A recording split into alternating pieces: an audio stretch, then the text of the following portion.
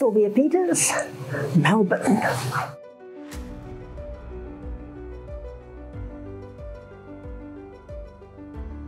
Well, on Friday evening when we started here, at the same time my mom had her funeral with my wonderful sister in South Africa. And then all of Saturday through our fabulous meditations here, the person that I was connecting to was my mom. It was good, and it was sore, and it was raw. And she's fine.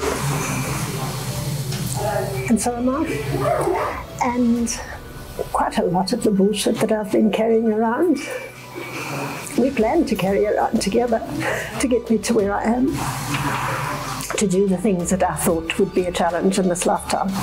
And I've done them. So there's absolutely no reason for me to feel limited or um, unachieving or any of the hold me backs that I might have had before went away.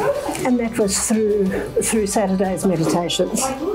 And we did that one healing meditation where I was away with mommy.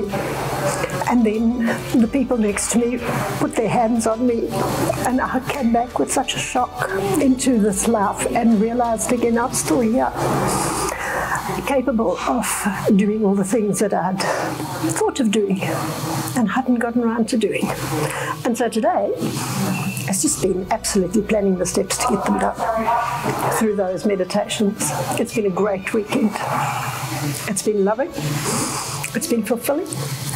And thank you to both you and Antonella for being fabulous trainers full of so much energy, so much organization,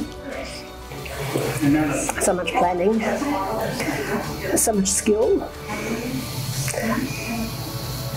It's been absolutely excellent, rewarding experience.